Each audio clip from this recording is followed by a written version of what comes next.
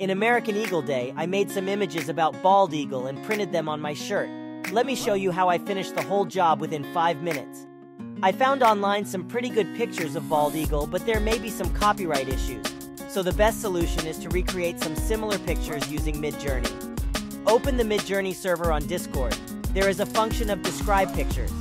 Input slash and the word describe, and you can find the image description function. Upload the picture I found. Then press the enter button. It would take about half a minute for AI to recognize the content of the picture. These sentences provide me some really good suggestions. I can choose some parts of the sentences that I think is the best description, then use them as the prompt for generating images. Input slash and the word imagine to reach at the image generation function. Paste the prompt into the blanket. We can choose some small pieces of phrases or write some new words by yourself. The different combination of phrases will lead to different results. The Midjourney AI is not smart enough to understand all the words you provide, so you need to try various descriptions and explore possibilities. This is a very creative and interesting process. A dozen seconds later, I'll get four small pieces of image. It takes times for AI to render images.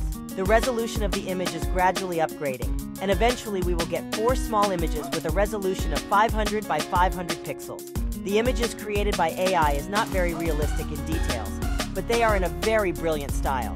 I feel the third image is good, but still not satisfying, so I press the V3 to get other versions, the third image. Here, U means to upgrade the image.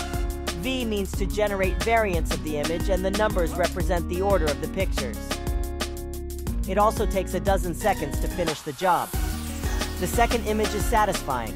Click U2 to upgrade the second image to a resolution of 1000 by 1000 pixels. Right-click the image to save it. Create a new file of 1000 by 1000 pixels in Photoshop. Find an USA map pattern of PNG format with transparent background. Drag all the images into Photoshop. Click Enter button to place images into layers. Drag the map pattern to the bottom layer under all the other images. The next step is to embed these images onto the map pattern. Hold down Alt button, hover the cursor between two layers. When the cursor turn into a rectangle arrow like this, click the right button of the mouse. This process is called Create Clipping Mask. The shape of the mask is the same shape as the picture layer below. We can adjust the size and position of both the pattern of mask and the pattern below the mask. I print the images with DTF Pro Printer. It adopts dual printing heads to raise the printing speed, so it wouldn't take much time to finish the print job. After adding adhesive powder to the printed images, melting and cooling down the adhesive, I get these two images ready for heat pressing. One will be pressed onto the front of the t-shirt and the other onto the back. Remove creases and wrinkles of the t-shirt using the heat press. Set the temperature to 120 degrees Celsius and time to 15 seconds. The heat transfer patterns I use here are in the same size.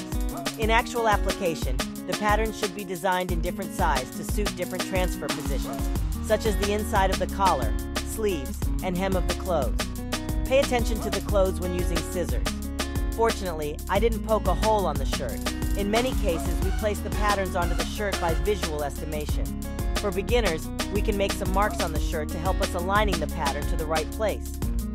The heat press temperature is 150 degrees Celsius and time is 45 seconds. Cool down and peel away the PET film. If the PET film cannot be peeled off smoothly, you need to heat press it the second time. Make sure the heat transfer pattern is adhered on the fabric properly.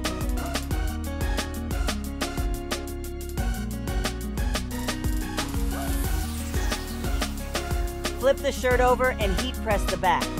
The temperature may go through the fabric and transmit onto the pattern on the chest. To protect the pattern on the chest, we can insert a cushion inside the shirt. Covering the transfer pattern with a Teflon sheet, it helps transmit temperature more evenly. Flag and bald eagle are the most common used patterns in American Eagle Day.